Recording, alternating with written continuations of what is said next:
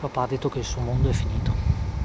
Papà Enzo e mamma Antonella si sorreggono l'un l'altro davanti ai cancelli dell'azienda di Via Volta, ma il peso da accettare è troppo. Non si può concepire una disperazione così forte.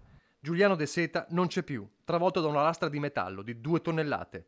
Giuliano che amava la vita, Giuliano che voleva prendere la patente, Giuliano che frequentava il quinto anno all'ITIS da Vinci di Portogruaro e a 18 anni appena compiuti cercava già il suo futuro lavorativo. Quinto giorno di stage alla BC Service di Noventa di Piave, impresa che si occupa di manutenzione e lucidatura stampi e che qualche anno fa aveva sede nel Trevigiano prima di trasferirsi in Veneto orientale. Poco dopo le 17, quel rumore e quelle urla. Giuliano si trova da solo in un'area dell'azienda quando la lastra, per cause tutte da accertare, gli cade addosso durante un'operazione di spostamento della pesante struttura, scivolata da un cavalletto. Due tonnellate sulle gambe, le grida strazianti, l'allarme, i soccorsi del SUEM, ma il diciottenne spira poco dopo. Carabinieri, Spisa, il vigile del fuoco, il via vai del dramma. Poi mamma e papà, sconvolti. Affidano a un avvocato, amico di famiglia, le prime parole per ricordare Giuliano. È un ragazzo amabile, amato da tutti, aveva un sacco di amici. Eh,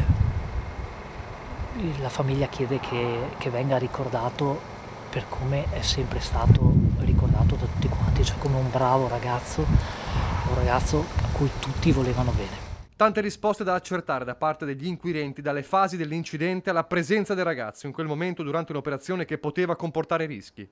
Per ora resta una sola drammatica certezza che apre a una riflessione urgente. La scuola alternanza lavoro è come l'apprendistato che dovresti guardare il tuo collega che lavora, invece non è così.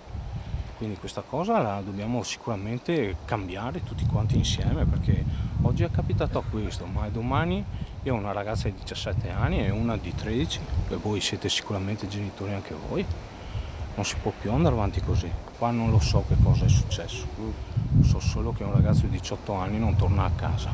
Questo non va bene.